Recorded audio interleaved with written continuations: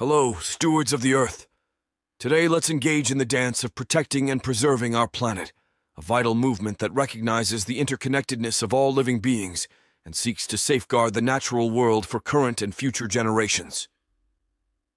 Environmental stewardship is not about passive conservation or preserving pristine wilderness alone. It's about taking proactive steps to address the urgent environmental challenges facing our planet, including climate change, biodiversity loss, pollution, and habitat destruction. It's the recognition that, in dancing with environmental stewardship, we become guardians of the Earth, responsible for nurturing and protecting the fragile ecosystems that sustain life.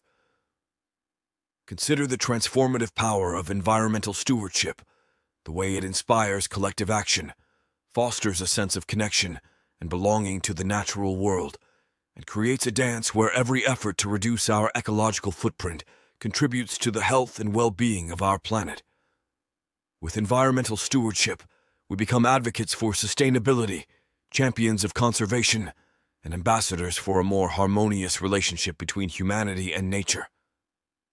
So, my fellow stewards, let's embrace the dance of environmental stewardship.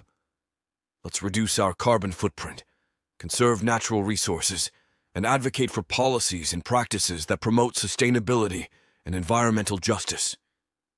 And remember that, in the dance of environmental stewardship, we have the power to protect and preserve our planet for future generations, ensuring that all life can thrive in harmony with nature.